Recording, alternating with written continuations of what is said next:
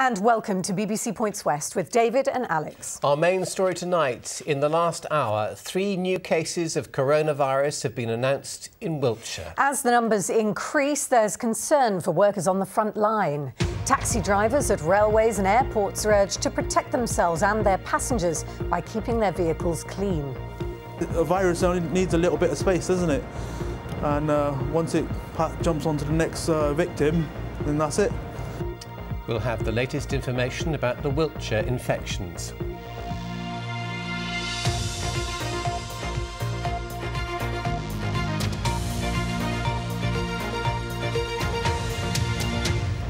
Our other headlines tonight the collapse of Flybe, but some flights operated by a franchise from Bristol to Jersey will continue. I just eat because I'm bored. Crisps, cakes, yogurts. An alert about obese children. We speak to a doctor helping youngsters who weigh 16 stone.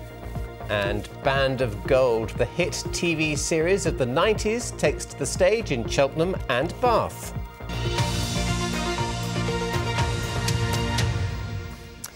A very good evening. Within the past hour, it's been confirmed that three people in Wiltshire have been diagnosed as having coronavirus. All three are known to each other. Andrew Plant is with us and has the latest details. Andrew, what can you tell us?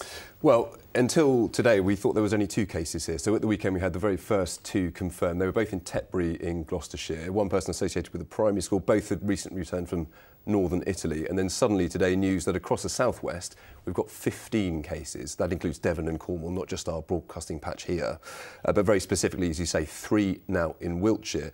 Now, they don't tell us exactly where those people are based, but we do know those are three adults. They've also returned from northern Italy recently, and interestingly, they're not in hospital. We're told they're self-isolating at home. Public Health England say they're tracing contacts, so looking for people that they've been in touch with over the past few days, they've had contact with, and giving them advice as well. Now, those other 15 cases we know includes at least one in Cornwall. We know that from about four o'clock this afternoon, Cornwall Council saying they've got one confirmed case there. We've got two in Devon, the two we previously had from the weekend in Tetbury in Gloucestershire, and now three in Wiltshire. That makes eight in total, but there are 15 in this region somewhere, so that means there are seven more We don't know exactly where those seven are, but we expect to find out more about those seven cases a bit later, possibly tomorrow. OK, yeah, I'm sure we'll get a lot Thank more details. You, Thanks, Andrew.